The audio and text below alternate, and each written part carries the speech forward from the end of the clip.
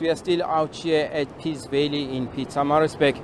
This is an area where an eight-year-old uh, is believed to have drowned uh, in the waters here. This is Umsunduzi River. It is currently swollen. Uh, we are told that uh, the police divers, including uh, from the police search and rescue teams, were here early in the morning trying to calm the area in their efforts to retrieve the body of the eight-year-old who was washed away uh, by the strong currents on Thursday, on, on last Thursday.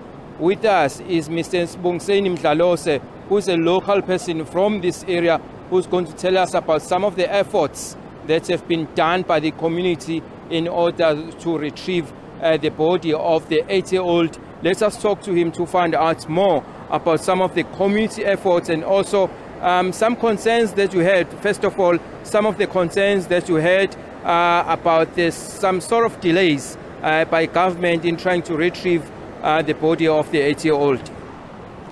Yeah, no, we, we are quite uh, uh, we were quite concerned about the delays.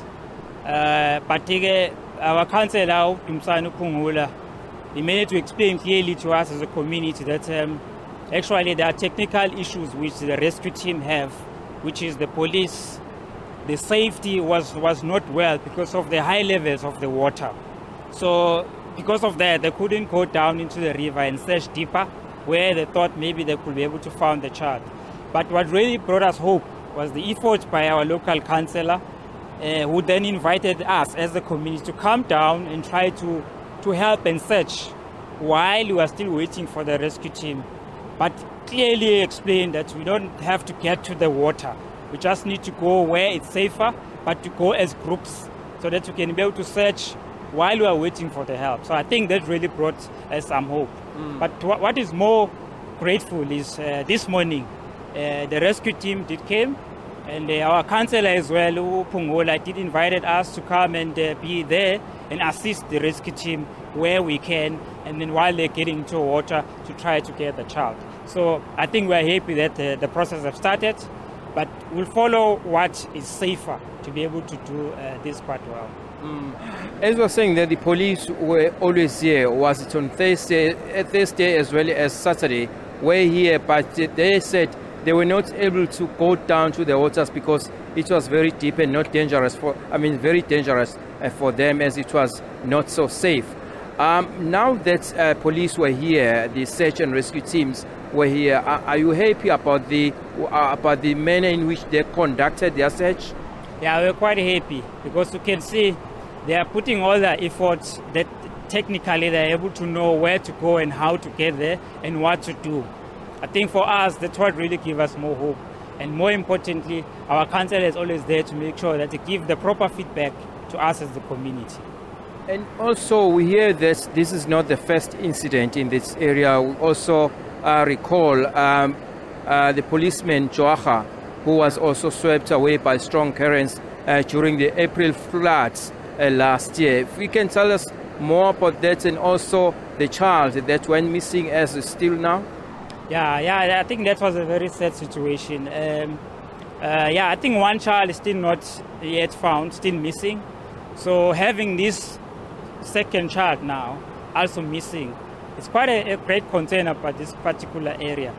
But also just to comment on that, uh, from the feedbacks we've had from our local councillor, there are efforts to try to help to deal with this matter, COCTA, to be able to try to assist, as well as the other relevant departments, to try to address this issue of this particular bridge. Because actually this bridge, it was built long time back uh, by Umgeni Water for their technicians to cross from, from this side to the other side. Uh, by that time, there, was, there were no residents on this side. So my, my thinking is now because there are people, but the bridge was not actually built for pedestrians. Now that there are people there, the effort from the government was to build a proper bridge for the people to be able to cross. I think there have been some engagement to try to, to deal with the matter.